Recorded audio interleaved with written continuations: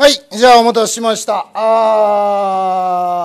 ーただいまですね、合格発表後の科目講座選択ガイダンスということでございましてね、えーお時間1時間程度お頂戴いたしましてですね、えーまあ、本当にもう最近、昨日と言っていいぐらいの領域ですけどね、え1週間前、えーこの間の本試験の結果が出ましたんでね、まあ、その結果を受けてですね、えー今後の、まあ、学習計画の立て方等々に関して、えー皆さん方にですね、まあ、少しご参考にしていただければということで、えー私の方からですね、1時間弱、お時間頂戴いたしまして、えーお話の方をさせていただくと、まあ、いうようなところになります。で、当然ですね、あのこの間の本試験で、まあ、いかなる科目をお受けになったかというところも、お一人お一人違うとは思うんですけどもね、えーまあ、基本的には全科目共通で、えー皆さん方の参考にしていただけるようなお話ができればいいかなと、まあ、いうふうには思っているんですが、まあ、私が担当させていただいておりますのはあの会計科目でございますんで、まあ、あ特に私どもレックの受講生さんはね、まあ、会計科目はやっぱり入り口ですから数も多いんで、えーそこら辺の話を、まあ、できればメインに据えながらちょっとやっていこうかなというふうに思います。で、まあ、今回もですね、えー税理士試験の結果いて、いろいろですね、思われるところもあったとは思うんですが、まあ、私が担当させていただいております会計系の科目については、すでにご承知の方もいらっしゃるとは思うんですけどね、えー財務諸評論に関しては、まあ、あ市場空前と言っていいぐらいだと思うんですけども、非常に合格率が高かったあいう状況があります。まあ30%弱まで合格率がいってるというところになるんで、まあ、これちょっとあの今までの傾向に全くない状況にありますから、あーこれはですね、まあちょっと私も正直言ってびっくりしました。あーそこまで率が出るとは思わなかったんですが、まあ、おそらく今回の採点状況は、まあ、開示はされないですけど、いろいろ勘案するとですね、おそらくあのいわゆる下駄履かせるような調整は当然してないし、えー逆に言うと、まあ、一つの目安である60点を超えた方を落とすような調整もしてない。で多分その落とすような調整をしてないっていうのがまあほぼほぼ初めてのような気がします。あの実際問題の質からするとですね、まあ、ちょっと理論はやっぱり書きにくいところあったかなっていう気はするんですが、あこの間の財票の計算問題よりも簡単な問題っていうのはもう数年前に出てる。もっともっと簡単な問題あります。でありますが、その時だってまあ合格率20%ちょっとですから。あーこんなにぐーんと率が上がったことはありませんでした。まあそれがですね、まあ、30%ぐらいまでいってるというところになると、まあ60を超えた人を基本的に落とすような調整はしてない。えーいうところなのかな、まあ、逆に言うとあの下駄を履かせてね60点超えさせるような調整も多分してないと思います。えー私の話になっちゃうとあれですけど、まあ、僕の母材横断のクラスね新実行というところでライブでやってたんですが結界ですぐにねあの報告に来てくれた男の子なんかはあ試験、えー終わった当日等々で自己採点でやっぱり計算48とかって言ってましたからあの45点超えの人って結構いるんですよ。でまあ計算でやっぱそれだけ取っていかないとっていうのがね今の代表の特性だとは思うんですがあー軒並みやっぱりちょっと今回はね計算で40割っちゃってるとちょっと厳しい結果になってるような気がします、えー私個人的にはですねもうこの方受かるだろうと思ってた方がちょっと残念な結果になった方もいらっしゃいましたんでね。あのその方も自己判定というかまあ試験終わってすぐにですねちょっと計算ミスったということをおっしゃってたんで自己採点でちょっと40割るぐらい39とかになっちゃうかなっていうふうにおっしゃってたんですけどやっぱちょっとそれがやっぱ響いちゃったかなっていうところもあるんでね、えーえ今回のまあ座標に関してはやっぱりまあ最低ラインとしての40点、えー計算においてこれを超えるというところがまず大前提になってきてね、まあ、あとは理論は大きく差を開けられないようにすることしか多分できなかったような気がします。えー今回の理論を全て対応できるような、まあ、学習というのは一般的な受験対策ではちょっと厳しかったと思うので、まあ、ちょっとねここのとこだんだんだんだんその傾向がやっぱ強いんですよね。だからこれがまあいつまで続くかっていうのは分からないですけどおそらくこの傾向はもう当面続いていくと思います。えーだからもう今までもここ56年は特にそうなんですけどね、まあ、財表に関して言うともう計算勝負。だと思います、計算で取るだけ取った人がやっぱり勝つんで逆に言うとあの理論で勝つっていうのはちょっともう厳しいかな。あいう気がします、そんな状況はあ少しね、まあ、見て取れたのが今回の試験の状況でした。で簿記論もねあの座標に隠れちゃって意外とあのなんていうのかな。あのそんなに目立たないんですけどただ簿記論もやっぱり合格率今年すごい高いんでまあここ10年ぐらいは本当にね毎年毎年私ライブで授業をやらせていただいててもいわゆるあの簿記論残しっていう方が結構いるんだよねあの4科目もう揃ってるけど簿記論だけ受かんないっていう人がですね結構いるのが続いてたんですがまあ今回でちょっとその方々ははけたかなっていう状況が少し見て取れますね。まあ、ちょっと問題としてはやっぱ難しかったですけどねあのある意味第一問とかの委託とかが変に難しすぎたっていうのが良かったのかもしれないですね。ベーシックなところをちゃんとやってもうそれ以外の変に応用度高いところは捨てるというのがあっさり判定できたっていうふうにまあ判定できたというかもう僕はそういうふうに決めてやったよという方が結構いらっしゃったんで変にはまることがなかったのがむしろね構想したのかなっていう気はします。だから問題としてはやっぱり例年通り難しい。だ難しいんですけどちょっとまあ第一問とかは癖がありすぎたような気がします。えー、それによって、まあ、受験生さんからしてみると示唆選択が効いたのかなという気はしました。まあそんな状況があってですね、えー、一応まあ今回会計科目については非常に合格率が高いと、まあ、いう状況があるのでまあ一般論で言えば総論として言えばっていうところかな、まあ、やっぱり受かるべき能力を持った方々は今年の段階でもある程度みんな受かっていきますんで、まあ、それはね今回残念な結果になってしまった方々にとってはあのある意味ですけど有利な要因であることは間違いない。えー、すなわち、まあ、例年であればですねもうこの方受かってもおかしくないよねっていう人がそれなりの数やっぱり滞留するわけですけどもそういった方々が比較的やっぱりこうはけてるっていう表現よくないかもしれないですけど実際出てますんでねあのそういう状況を考えると来年の受験生さんにとってはそういう意味ではね経験値の高い方々がライバルから消えるっていうところはそれは一つ有利な要因にはなるんじゃないかと。いう気はします。ただまあいい方向で言うとそうなんだけど来年以降も座標が同じような採点をしてくれればいいんですけどね。あのもしかしたらちょっと先祖代わりじゃないですけど少し落とすような形での調整が入る可能性はないとは言えない。ちょっと今年高すぎますやっぱり、えー、税理試験の特性を考えた前にちょっと30%っていう数字はいかがなものかっていう気が正直、まあ、受かってくれるのは僕は嬉しいんですけど正直ちょっとちょっと違和感がある。ので、えー、まあ変に問題絞ってきたりですね、えー、変に採点厳しくしたりしなきゃいいなっていう不安はどっかにあるんですがただまあ基本的にはね競争相手の方々で経験値の高い方々が減るっていうのは絶対的にこれ有利な要因であることは間違いないんであのー、今年ですね、まあ、受験をされて、えー、いまいちいい望んだような結果が出なかった方々はそれはあの一つプラスの材料を捉えてほしいんですよ。でさっきの話にねなんで僕受講生さんの話したかっていうとあの今年ねちょっとまあ例に挙げちゃうの申し訳ないかもしれないけど僕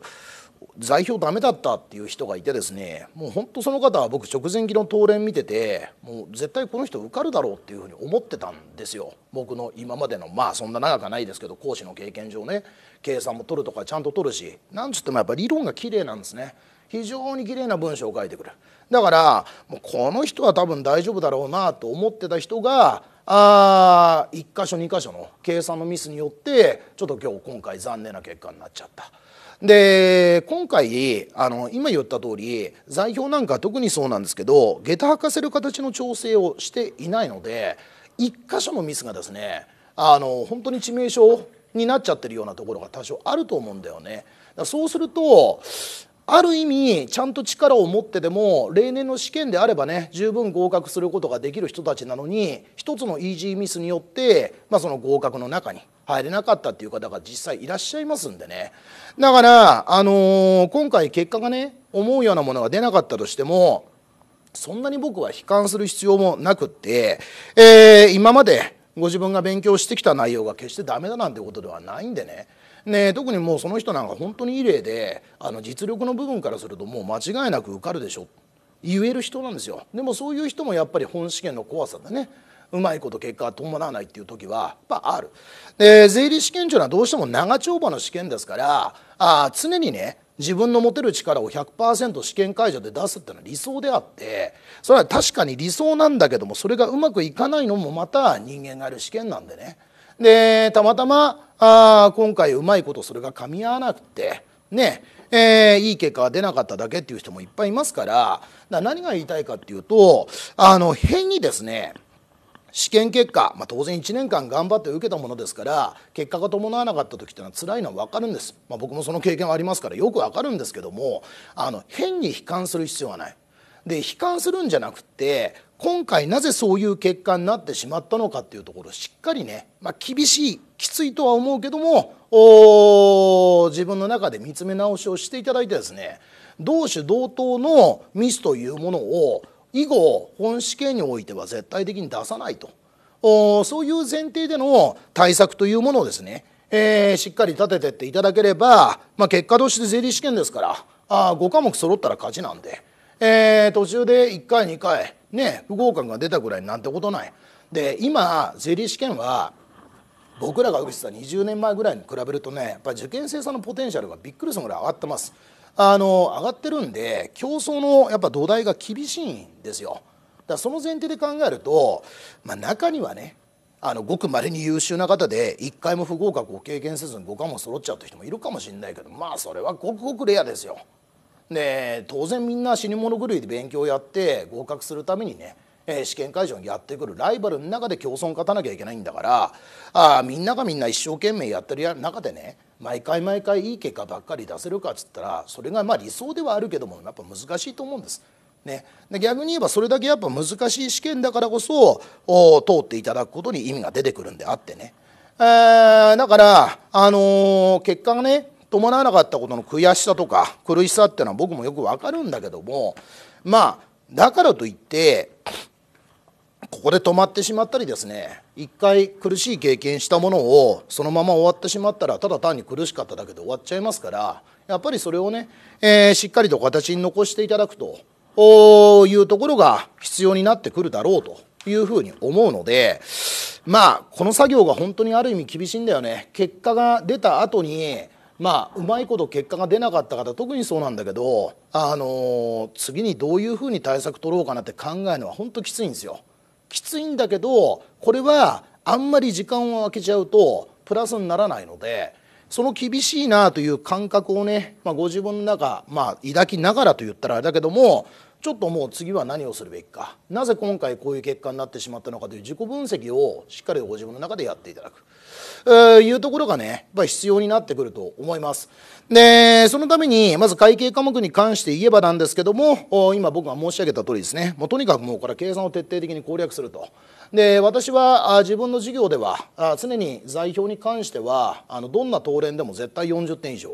難しかろうが簡単だろうが関係ないともう座標は常に計算は8割を取るようにしないとダメだと。いうふうに申し上げております。えー、それは一つ皆さん方も、まあ、強制は当然しませんが参考にしていただいた方がいい。で現にあの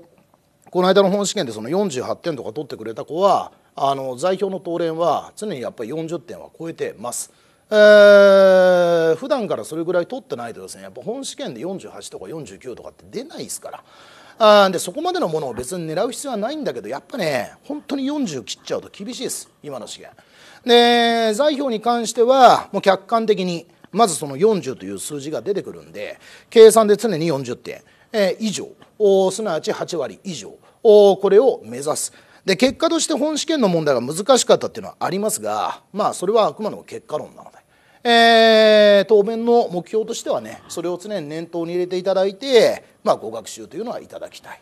で簿記論に関してはね客観的な点数が何点以上っていうことは僕は言わないし言っても意味がないと思うのでそこはね通常授業でも僕は言わないんですよ。だってあのボーダーラインがかなり波がありますから。あ簿記論に関してはね何点以上ということは言わないけども。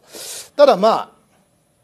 これも私普段から言ってますけどね。あの簿記論等に関して言えばあのうちのテキストでいうと12分冊目の領域ですね。簿記の32級で出たことある論点見たことある論点が8点8点8点で税理士簿記論レベルに引き上げられたものってのはいくらでもある。でああいう論点をまず基本的に一個も間違えない前提で問題解いてもらえれば基本的に簿記論は受かる。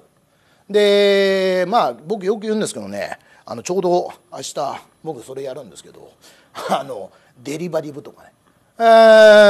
ー、連結とかね。あの受験生さん大体ですね直前期になるとそこら辺のご質問が結構多い。まあ質問いただくのは僕は大いに結構だと思うんだけど、まあ、デリバがよくわからんとかあ連結が苦手だとか発展的な連結が出たらどうしようとか、まあ、そういうご質問いただくんですが僕はね、まあ、どんどんどんどんそういうのはやっていただくのは大いに結構だと思うんですがあんなもので合否は決まりません、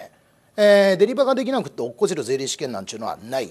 えー、デリバができなくて落ちてんじゃないんですね、えー、有形固定資産の処理とか間違ってんから落ちてるんですね。で商品売買間違ってんから落ちてるんですね。現金預金であったり銀行の話は間違ってんから落ちてるんです。絶対そうなんです。で今までまあ簿記論は常に波はありますけどねどの試験を見ても本当にその3 2級で出たことある論点を簿記論レベルに引き上げられた、まあ、有形固定資産なんだって面倒くさくなってると思います。有価証券だって面倒くさくなってると思いますがああいう論点を全部取れてれば間違いなく毎回受かります。え、全くもって3 2級で触れてないような、まあ、そういう今申し上げたね、まあ、最近は連結も入っちゃったからあれだけどもお連結できなくて落ちることはないし税効果できなくて落ちることもない。えー、もっと言ってしまえば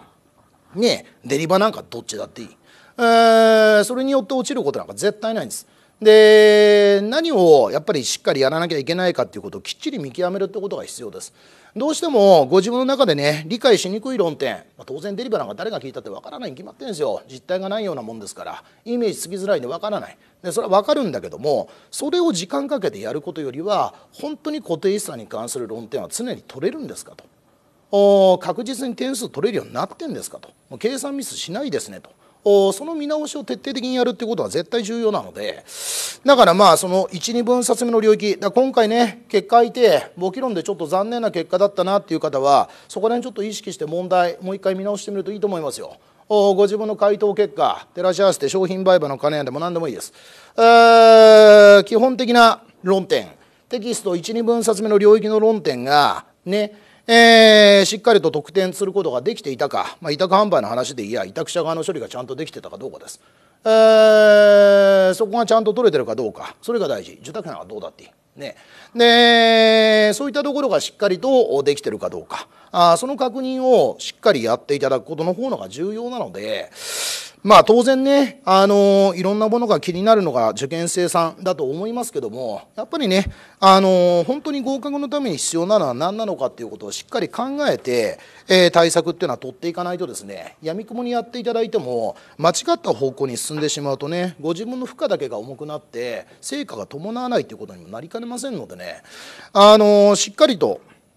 合格のために必要な作業というものをやるようにねしていただきたいと思います。でそれは会計科目だけではなくて当然税法でも言えると思います、まあ、ただ税法は本当に波があるっていうかね科目間の差が激しいのでまあ私どもレックでもですねあの非常に受講生さん数が多いのがやっぱり消費税法。まあ正直消費税ぐらいになっちゃうとですねまあ私消費税の担当じゃないからあんまり生意気なこと言うとあれですけどもうちょっと本当一言一句の類のあれ競争なので大体こんな感じだよねとかあ理論の論点として9割ぐらい抑えたよっていうレベルじゃちょっとやっぱ受かんないですからね。あのー、どうでもいい話かもしれないですけど僕らが20年ぐらい前税試験の勉強をやった時って消費税って1月開校の週1クラスでしたんで9月から始まるクラスなんかなかったですよ僕らの時代。で1月開校の週1が基本であの今でも僕鮮明に覚えてますけどゴールデンウィーク明けのクラスっていうのありますからね、えー、ゴールデンウィーク明けてから試験勉強始めて8月の試験受けると。僕らの時代はそんなでした。でそれぐらい逆に言うと昔は消費税ってあの学習量も少ないし。だからあ法人なり何なりやってね成績優秀者に「あもうついたから消費税前やっちゃいなよ」なんて言ってね。えー、予備校の先生が勧めてくれるとかそういう科目だったんです昔は。でも今やそうじゃないもんね。もう消費税は週1ではあるけども基本9月開校ですよ。9月からやっていかないともう追いつかないじゃないですか。それは何でっつったら理論の完成度が高いからです。もうテニオ派の次元で減点されて落ちるんですよ。消費って量が少ないってそういうものですからねで当然実務の重要性考えればねやっぱり消費税は取っておくべきなんでしょうけどもあれはやっぱりちょっと相当なところまで高めていかないといけないんでそういう意味では厳しいと思う。で逆に言うと他の税法はそこまでのものではないと思います。当然学習量は全然法人とかの方が多いですけどもただそこまでね、一言一句にこだわって答案作んなきゃいけないとかっていう話ではないのでまあそこら辺はねかなり科目の特性っていうのがあるから一律言えないんですけどもまあそうだな。税法をやっておられる方々はうーんまあ理想はねどの科目でもやっぱり100%の答案作り特にまあ理論なんていうのを100%作れるようにしていくっていうのは一つ学習要領のポイントにはなるんだろうけどもそのね完成度の高さっていう意味ではやっぱり消費なんかはちょっとね普通の科目よりもハードルが高めになるのかなっていう気が正直僕はするんで、えー、やっぱそれに備えてね準備っていうのはやっていかないといけないいうところになりますんでね。まああいろいろな科目をご受験いただいた方々がこのお話をお聞きいただくので確率的にどうこうということは言えないんですけどね。まああいずれにしてもですねまずは今回の試験結果を受けてのご自分のね反省点をしっかりと洗い出すという作業はやっていただきたい。でその上で来年以降のねまあ受験に備えて科目選択をどうするかという話になります。で今回まあ私の方でこれを担当させていただくというのはやっぱりねあの会計科目の方々非常に多いというところがあるので、えー、私の方でこのお話をね今回やらせていただくんですけどまずあの会計科目の方々にとっては選択肢は大きく2つあると思うんですがまずあの一つの考え方としてはまあ、すでに始めておられる方もいらっしゃると思うんですけど税法との来年は合わせての受験。なら、まあ、簿記論と何らかの税法とかあ財表と何らかの税法とかすでに税法の勉強を始めておられる方々は、まあ、当然それを途中で切る必要は僕は個人的にはないと思うので、えー、同時に受験を目指すというのは一つの選択肢だとは思います。で一つの選択肢だとは思うんですけどもただ当然のことながらですね会計科目はどうしてもあの計算作業が入りますんで普段の演習頻度が減るとですねちょっとやっぱり本試験に向けてはかなり不安が強くなります。えー、そこで、まあ、私どもの講座設定でご案内をすると、まあ、タコさんも大体こういう講座設定になってますけどあの試験結果の通知を見てですね基本 A ランクの方々であれば受験経験者向けの上級講座あをまあ、ご受講いただいて、えー、上級講座に関しては基本的に問題演習を主軸に据えていますんで、まあ、お話としてね新しい論点上乗せで載せていただくというところもあるんですがあ基本はやっぱり問題演習ですからあ今僕が申し上げたようなそういったね1分冊目2分冊目の領域もう本当にベーシックなところをじっくりと捉えながらさらに発展的な問題なんかもやっていくっていう講座設定になってるのが上級クラスですからまあ税法は税法の勉強で進めながらその上級講座を併用することによって次年度ねすなわち来年、えー、税法と絡めて受験をしていただくというのも一つの選択肢だろうし、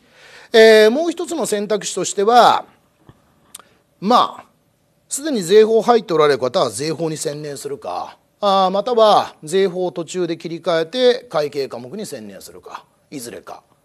なんですよ。で私個人的に思うのは今税法も始められてる方いらっしゃると思うんでその方はですねあの今回の会計科目の結果としてちょっと C とか D とかであればあの今の税法の進捗度合いによりますけどもあの C とか D とかってちょっと残念な結果ついちゃったなっていう方はですね今現在税法の勉強がある程度進んでいて順調に乗ってるなという状況になるんだったら税法に専念した方がいいと思います。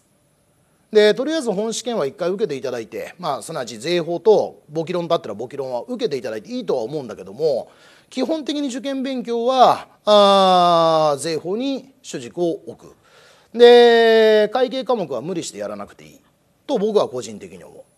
で基本的にこれ税法と同時にやってる方々っていう想定なんですけどこれは僕の個人的な考え方ですがあのやっぱりね税法っていう未知の領域の勉強を始めてでなおかつ会計の勉強もしっかりやっていかなきゃいけない。すなわち C ランク D ランクだったっていう方はやっぱり一からを基本的にはもうやり直す必要があるんでそれはね正直言ってかなり負担です。でそうすると一番怖いのは共倒れになることなので、えー、だったらばあその会計科目でちょっと C とか D とかついちゃったなっていう方いらっしゃると思うんですよ。実際ね問題合う合わないっていうのがありますから。その方々は、まあ、今の税法やってるんであるならばですけどもお税法の状況をまず自分で冷静に考えてある程度順調に回ってると思うんだったら税法に専念する。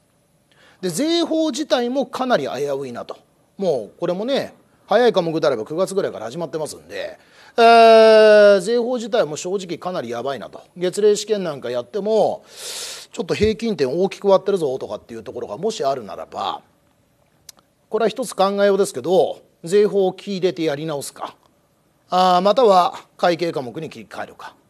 あそこはこれは僕の方から何とも言えないんでご自分のやっぱり判断になると思うんですがそこの判断は必要になると思います。あの無理して同時にやるっていう選択肢を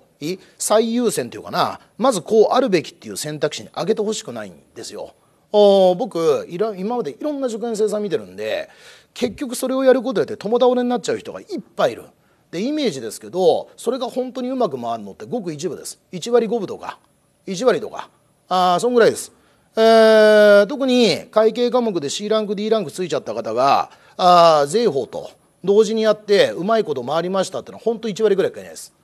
えー、そうすると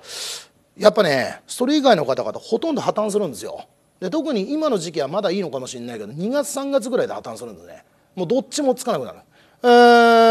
ー、会計もつかない。で税法の理論は全然回せない。でそうなっちゃうと共倒れになってしまうのでねあの早く受けたい気持ちは分かるんだけど世の中やっぱりね急が急がば回れっていう言葉もあるぐらいですから早く受けるっていうのと早く受かるっていうのは違いますんでね。えー、とにかく試験は受けりゃいいんだって話じゃないですから受かってなんぼなんで受かるためにはどうすんかっていうことをやっぱり考えないといけないと思うんですね。だから「科目の選択」というタイトルで今回お話をさせていただけるんでもうこれはもう率直に僕言いますけどあのー、会計科目をお受けになった方で C ランク D ランクだった方はすでに税法を始めてるんだったらそこどっちにするか同時にやるか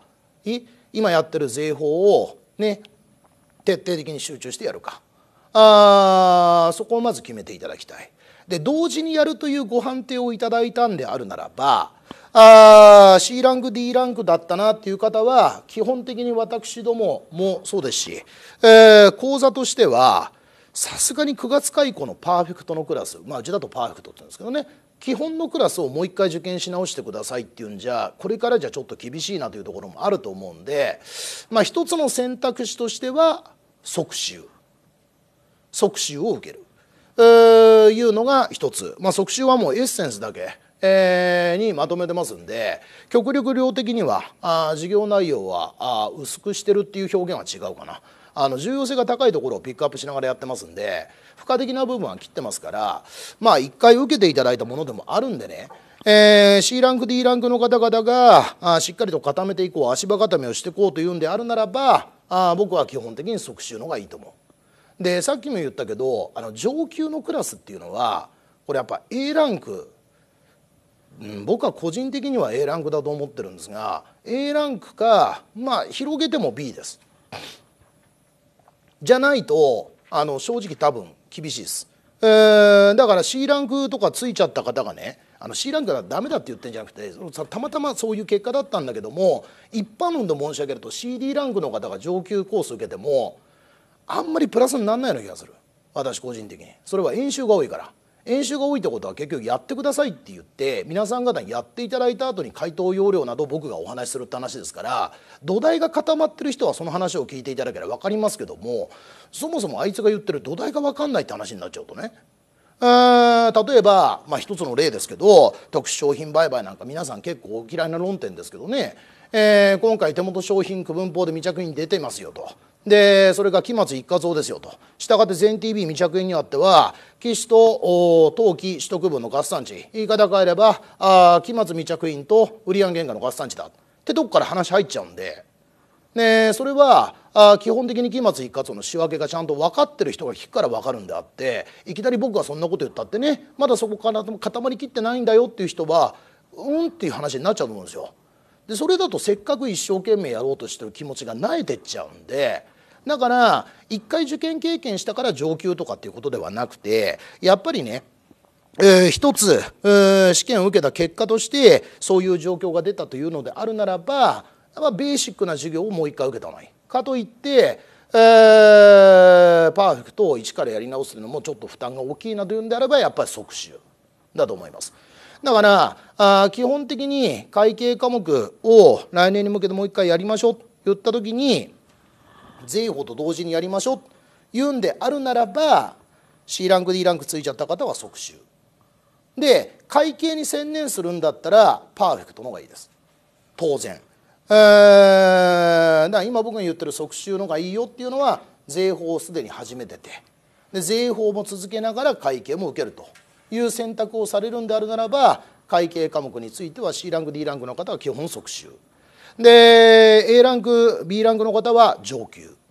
だと思います。えー、そこが一つ科目の選択方式になると思います。これはねあの税法でも言えることです。他の科目でも同じなんであ基本的にはそういう選択になるはずですからあその前提で、まあ、作業をしていくというのが一つです。であとはさっきの話に戻ってしまうんだけどいずれか一つに絞るというのはこれは一つありだと僕は思います。税法の勉強を始めたんであるならばある程度それが順調に回ってるないしはまあ順調に回ってるっていうのもね、えー、個人差がかなりありますからね、えー、税法の理論なんていうのはなかなか最初書きにくいんでね、えー、理論自体はなかなか点数大きくもらえないけどもただまあ一つの判断指針としてはねとにかく勉強して楽しいと苦じゃないと。まあ9月ぐらいから勉強始めて9101112か月やってるでしょ。で4か月やってね理論もそれなりにもう難易度高まってるはずなんですよ。で難しいですよ。難しいけどもこういう仕組みになってんだっていうのを知るのが楽しいという感覚があるならば多分それは早急にっていうかな早期に結果はついてくると思います。だから今現在点数低くっても税法伸ばしていけばいいと思うのでまずは変に会計科目をね同時に受けるんじゃなくて税法に絞るっていうのも僕は一つだと思う。でそれがうまいこと今回ってないよ。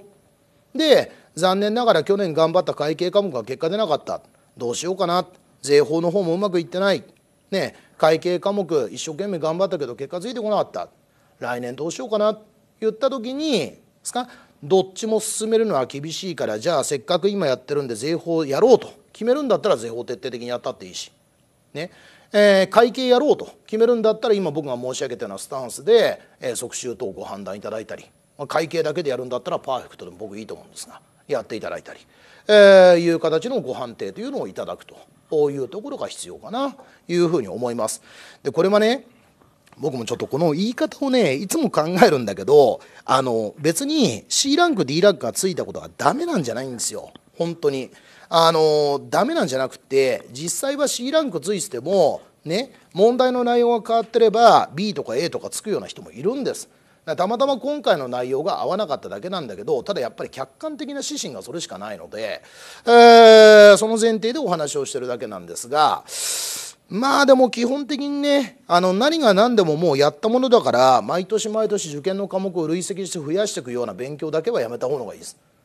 あもうとにかくそれは僕あのせっかく今回機会いただいたんで皆さんにお話ししておきたいんですね。あの僕それで潰れた人いっぱい見てるんで。だから結局税理士なんかもともと長丁場ですからどうしたってね、まあ、繰り返しになりますけど1回2回落っこちの当たり前なんですよ。で当たり前なんだけどじゃあ1回落ちたからって翌年もその科目受けながら新しい科目受けるってそれはやっぱりねよっぽど腹くくってやんないとね、あの去年の土台があるから、まあ、確かにあるんですけどもとは言ったってっていうところがありますんでね、えー、そこら辺やっぱりちゃんと見極めをしていかないと僕はいけないかなというふうには思っているんです。えー、だからもうこれはね確一的にどうこうってことは本当に言えないんでご自分で状況を判断していただいてでその上でやっぱり自分だけじゃ決めきれない。ね、自分の状況が客観的に見れてるかどうか分かんないっていう時は、まあ、うちのスタッフにですねあのお電話なり、えー、教えてチューター、まあ、メールなり、えー、なんなりしていただいてですよご相談いただければいいと思いますよ。別にあの相談は勉強のことだけじゃないんで。ねえー、で別にそれでうちの学校の授業を受けなさいなんて言いませんから。あ今僕こういう状況なんですけどどうですかねとでそうすると、まあ、中途で対応させていただくものはみんな受験経験あるものばっかりですからあ受験生の時の気持ちも当然わかるんで、ね。えー、僕はそういう時にはこういうふうにしましたよって話もしてあげられるかもしれないし、ね、でそういったことをちょっと考えしながらですね科目の選択というのはしていただくといいのかな思います。で、そうだな、まあ、一つね、やっぱり試験結果が出た後の講座の選択っていうのは、全科目共通で言えるのはやっぱり一つ、A ランクだった方は、まあ、翌年ももう一回チャレンジするんだったらやっぱり上級コース。で、まあ、B ぐらいまではそれでもいいかなと思います。で CD になっちゃった場合にはやっぱりその今回出た論点に関して言えばやっぱ基礎が弱いところがあるはずなんですよ。または問題対応力として弱いところがあるはずなんですよ。でそこら辺はやっぱり固め直しをした方がいいから他の科目との併願ということであるならばあ即習コースをポイントポイントで受けるとかあもう会計に専念してもう一回力やり直すよっていうんだったらパーフェクト基礎の講座を選ぶとかああいうところをねご選択をいただくといいんじゃないかな。まあいうふうに僕は思います。まああとはねこれあの僕の領域ではないじゃないんですけどあのこれ言うとねいつも結構受講生さんに反発されるんですが僕特に社会人さんには個人的に話す時には大体言ってるんですけどあの税法でねうまいこと結果が出ない人ってやっぱいるんだよね。あのこれね僕も税法の勉強やった経験ありますからあの言えますけど税法って最初とっつきにくいんだよね言い回しが独特で。で資産税の領域と企業税の領域だとやっぱりね法文の書き方自体も違うしあの相続の時はわりかしうまくいったんだけど法人になるとうまくいかないとかね、えー、似たり寄ったり表現なのになんかちょっと解釈が違うとかね。出てくんですよね、まあ、それはもう同じ人間が法文書いてじゃないから違いがあるのは当たり前なんですけどやっぱそういったところって受験勉強やってる時本当に負担なんですよね。でそういったところでやっぱりなかなか最初慣れないいうところも出てくると思う。でそれがうまいことこなせないまま2年目3年目っていうふうになっちゃう人って実際いるんです。でいるんでこれあの僕ね社会人さんには本当にありだよって言ってんのがやっぱ大学院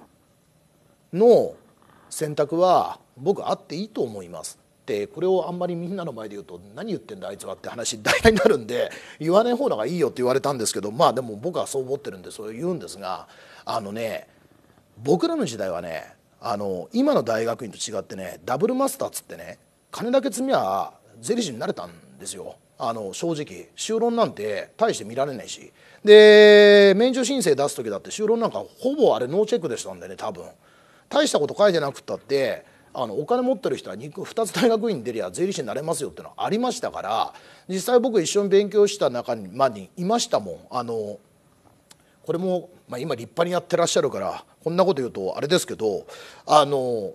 まあいわゆるジュニア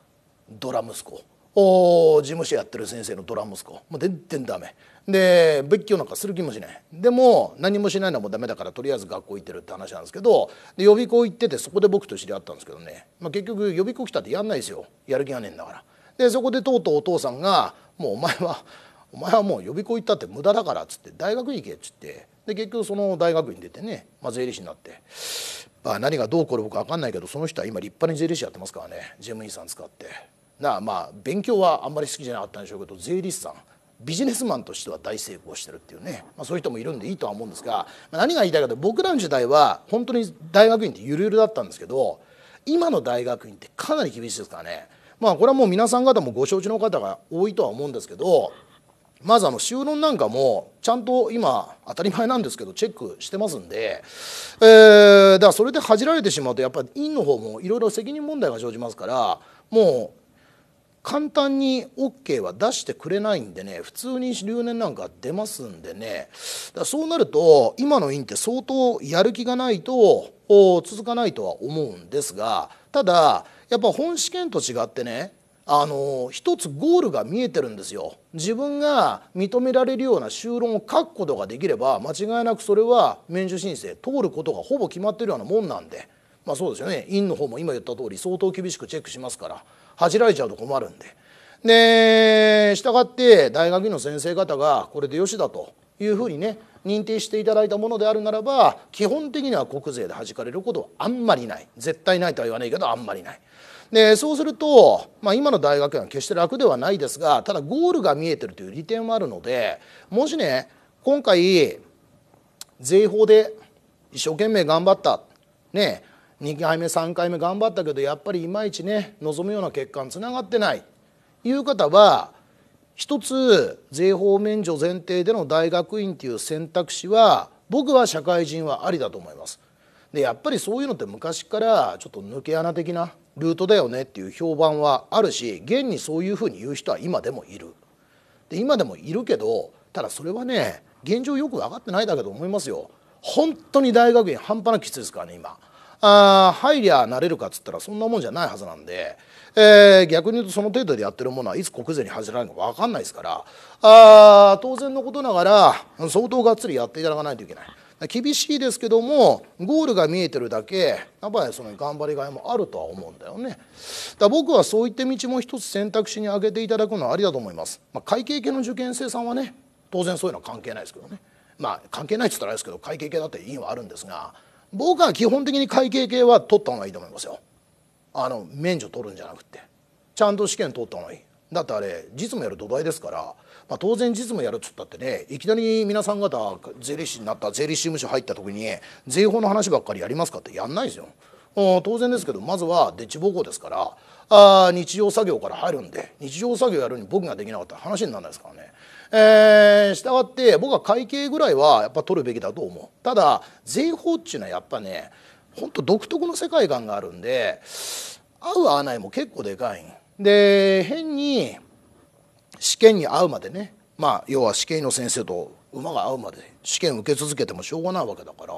あしっかりと大学院で研究するという前提であれば僕は税法は因面というのは全然ありだと思います。まあ、因面つったって今全部免除にならないからね。何かしら受けなきゃいけないですけどあ何かしら受けなきゃいけないけどもでもそういう選択肢は全然あってしかるべきだと思うんでまあそういったところはね僕前向きに入れてってもいいと思いますよ。で結局ね言う人は何を言何をやったって言うんですよ。あの院で免除取ったからあいつはダメだとかっていう人は言うしねで同じようにですよ法人受けてねえからあいつはダメだとかね言われるに決まってるんですよ言う人はね何かしら言うんです何だって。で商品受けてねえからダメだとかね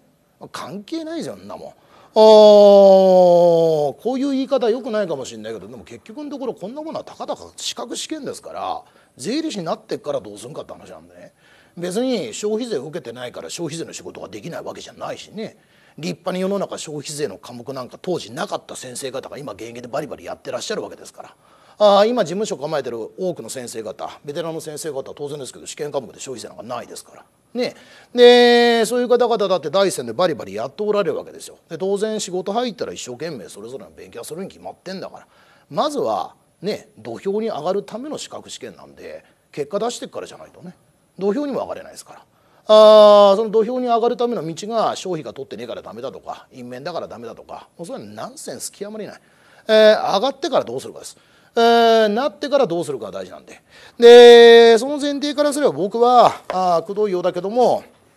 今は手抜いてなれるような時代でもないので、えー、大学院というものはしっかり考えていただくと全然ありだと思います。ね、で逆に言えばそこでそんなことを言われたって気にしないぐらいの深い研究をちゃんとやりゃいい。ね、でちゃんとした修論を作り上げればいい。ね、でそうすれば何の問題もない。ねえー、まあくどいだけど言う人はね何やったって言うんですだからそんなものは気にすることはない、えー、気にすることはないんでねしっかりと結果が確実に出せるようにしていけばいい。ねえー、その前提で、まあ、皆さん方あ今後のね科目選択等々はご考慮いただくといいんじゃないかなと、まあ、思います。まあこれは僕の持論ばっかりなんでつったってもうこんなものは持論しか話せないんでねなまあ僕もご依頼いただいてですね何を話そうかなと思ったんだけどまあ思ってることを「いやいいよ」って言うから「あそうですか」っつって受けたんですけどまあそんなもんだと思うんだよね。でただ何にしたって僕は今までの自分の経験上で言うと今まあ、結果が出た方は前向きにね次の科目選ぶで次の科目選ぶ時に受かってる方々はもう何だっていいと思いますよ僕興味がありゃ。あのー、で興味があるものをやればいい。でその時にねあのー、なんちゅうのかな。よく言われるのがあの就活に有利だとかね、まあ、そういうのがあるんだけどあのあんまりそんな気にしない方がいいですよ。おまあ消費税取ってほしいとか法人税受かってることとかっていうね、えー、採用条件歌ってる事務所ありますがあれ本当に法人受かってねえと面接してくんねえのかっつったら今そんなことないからね。あの電話してみると法人は取ってないですけど相続やってんですよ。って言うとじゃあちょっと面接だけ来てよっていう事務所ざらにあるしね。特に今皆さんご承知だと思うんですけど税理士事務所って人いないんでね。あの大量欠員時代でございますんでもうとにかく人欲しいっつってるところですからあのいやもうお宅の歌ってる法人は持ってないですけど相続持ってますよ。面接だけでもしていただけませんか？言えば全然面接してくれる。あります？よそんなもん。で実際ね何を持ってなきゃダメとか何を持ってなきゃダメっていうのもこれももう皆さんもご承知だと思うんだけど別に法人持ってるから法人税できるなんて思って採用してる事務所なんかないんでね。あの法人とか消費税とかっていうのを歌ってる理由はただ一つで競争が厳しいのを知ってるからそれを歌ってるだけ。結局それを受かってきた。そのポテンシャルが欲しいっつってるだけですから法人税の知識なんか求めてねえです全然。消費税の知識も求めてねえです、えー、結局厳しい競争の科目を勝ってきたポテンシャルが欲しいっつってるだけです。ですか？いいんですよ。おでもそこまでは言ってない。ねお宅が歌ってる法人ではないけども学習量は相当厳しい。相続税こなしてきましたよ。いいじゃないですか。何の問題もないじゃないですか。ねえ。ー、それを、まあ、絶対ダメですと。法人持ってなきゃダメですと、まあ、いうような事務所だったらそんなとこは行かない方がいい。えー、ちょっとねまあ人のことですから文句言うのもあれですけどそ採用方針としてそういうのはおかしい。ねえー、根本的にまあこれはもう実務やられてる方特にお分かりだと思うんですけどね法人税法かったら法人できるは全然できないですからね。えー、したがってあのー、そんなところはですね別に気にする必要ないんで、まあ、何が言いたいかとこれは僕自身の経験上も言えるんだけどあの就活に有利な科目ってのは確かにあるんだけどねそのための勉強というかそのために科目を選択するってやめた方がいいですよ。興味もねえものやったって続かないから。税法はね。えー、工藤だけどまあもともと独特の世界なんでやっぱね多少なりとも自分に関わったり多少なりとも自分が興味があるものをやっぱり選んだ方がいいですよ。だからもうちっちゃい話でもいいですよ。簿記論の勉強をやった時に法人税住民税事業税が出てきた、ええ、事業税外形標準課税とかっていうのもあったけどそれ何なんだろうか？っていう興味があるからじゃあ事業税やってみようとか？全然いいじゃないですか。ねあこういうことなの？っていうのが事業を通して感じられるだけでもやっぱ入ってくる内容全然違いますよ。確率的にこれ覚えな覚えなって言われるようですね。ああこういうシステムだったんだっていう自分の中でねえー、ハッとしたさあひらめきというかあときめきというかああこういうことを僕は簿記論で勉強したんだなっていうのが経験として出てくれば全然それはやっぱり知識の定着違ってくるんで何よりもやっぱね税法とかを選ぶにあたっては興味ですよ。興味。自分が興味を少なからず持てるもの。まずそれが大事。で何にも興味がないですって話になっちゃうと多分それは税理士には向かねえんだと思うんで皆さんそんなことはないでしょうからね当然自分が興味のある分野ね特に今なんかだとそうさっきから言って相続なんかだってみんな関わるじゃない。ねえー、みんな関わるっつったらあれかもしれないけどもねやっぱり別に相続税を納めるか納めないかは別としてねこれはもう相続という事象自体は避けては通れないわけだからねこれはもう人間である以上はしょうがない。ね、でこれはもうだんだんだんだん僕みたいにこう年取ってくれば年取ってくるほど身近なものになってきたりもするからそういったものなんかは全然ありだと思いますよ。ね、やっぱ興味があるものをしっかり選ぶそれがね僕は一番いいと思う。だからあのー、そこら辺はねしっかりと自分の興味、ね、自分の知的好奇心が欲するものをね学習対象に選ぶというところにしてください。でだからあのその前提で言うと結構これあの税法は幅が広いけどさ国庁とかさねあの国庁とか権威主義的な人は多分大好きですよね。えー、税金取るための法律ですからなんか自分が役人になったような感覚があるんでね、えー、あれね勉強やってんと面白いってみんな言うんだよね。ただあのただよ皆さん。あのせっかく今ちょっと国庁の話をしちゃったから言うけどあのあれ計算が基本的にないんだよね。まあ、全くないわけじゃないんですけど計算がない理論ばっかりですよ。だから計算苦手な人がわりかし国庁選ぶ。今でもそういう人いるんだけど国庁ってね僕個人的に思うけど税法の中で一番鬼門ですよ。あれ基本的に受かってる人たちってほぼほぼ役人ですからね。役所の経験ある人ですからね。あの一般受験生ほんと少ないですよ。おまあもともとほら受験者少ないから上位転売も少ないでしょ？で少ないんだけどあれね実際に観光庁出身者が相当多いって言われてるんですよ今でも。一般受験生にないんですよあれ。で国税関係の役所とかまああとは市区町村でもいいですけどね都道府県でもいいですけど税務携わってればねある程度税理士になる時優遇されますがそうじゃない人だって税理士目指すしざらにいるんでね。でそうなってくると一時期市民税課にいましたとかそういう人だったらある程度税金に関する知識があってで実際自分でそういうものをやってたりする人いるんでねあのそういった人たち強いですよやっぱり。実地の研修でもやってるんで。で問題作るのも役人だし。でそうすると自分が研修受けた内容をそのまま問題出たりもするんでね。だからね国庁ってね勉強面白いんですけど理論があメインだからあの計算がないんでっつって選ぶ人多いけどねあの国庁はそういう理由では選ばない方がいいですよ。あれ受かるの大変ですから。あ僕多分個人的な考えですよ。税法で一番大変なのは多分国庁ですよ。受かろうと思ったら。あだから計算がないから国庁っていうのはやめた方がいい。えー、と思うよ、まあ、あとは何でもいいような気がするけどね。僕は個人的にねそれはやっぱ予備校の講師になっていろいろ情報を得てねまあ当時国庁があった学校に僕いたんでその国庁の先生から聞いた話でもあるしみんな言う。うんこれもねある意味業界の通説みたいなところがあって、えー、ただね全然いないわけじゃないですよ。一般受験生さんも当然受かりますよ。受かりますけども相当数観光庁出身者がいるというのは間違いないです。毎年。ですか、えー、そういうものを前提にやってこられた方がそれなりの数いらっしゃるっていうのは間違いない。だからよくいるのがあのさっきの話だけど因面取ってなんか税法1個取んなきゃいけねえからっつって国庁っていう人多いんですよね。でも受かんないですもんその人たちほとんど。受かんないんですよあれ。本当に。だからあの理論だけだからとかそういうイージーなことで科目の選択すると無駄に時間使うんでねあの本当に興味があれば僕はいいと思いますけどおそこら辺はやっぱりちょっとちゃんと考えたものがいいです。であえて申し上げます。僕はこれはこれは僕の主観ですよ僕の主観ですけど国庁って鬼門ですよ。あのですから本当に興味があるならいいですけどおちょっと理論の量が少ないし計算ないしとかって選ぶんだったらやめた方がいいだったら他のやったやつじゃないです。僕個人的にね一番おすすめするのはあまりこんなこと言うとあれかもしれないけど僕個人的には事業税ですね。事業税ね結構これ狙い目だと思うよ僕個人的に。あのというのも事業税ってねあんまり事業税だけやってる人いないんですよ。大体事業税を受ける人って法人の上級者が多い。法人税を受けて3年目。で法人税で毎月毎月月例やっても常に上位。